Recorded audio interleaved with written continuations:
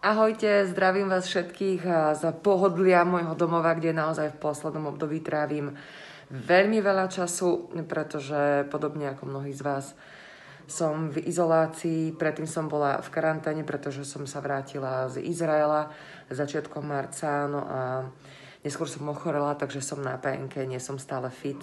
Nemôžem sa zatiaľ vrátiť na obrazovky televízie, joj, napríklad aj do ranných novín, aby sme si mohli spolu takto zakývať aj z obrazovky, ale, ale pevne verím, že už čoskoro uh, fit budem že sa uvidíme na obrazovkách televízie, joj. A ako trávim čas, no tak skúste si typnúť.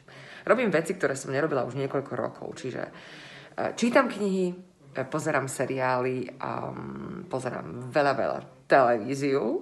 Jednoducho veci, na ktoré som naozaj nemala čas, pretože, pretože som veľa pracovala, mala som stále veľa povinností a um, tak sa to snažím brať nejako, nejako pozitívne. A som tu sama, pretože moje cery sú v zahraničí, ale sme neustále v kontakte um, spolu.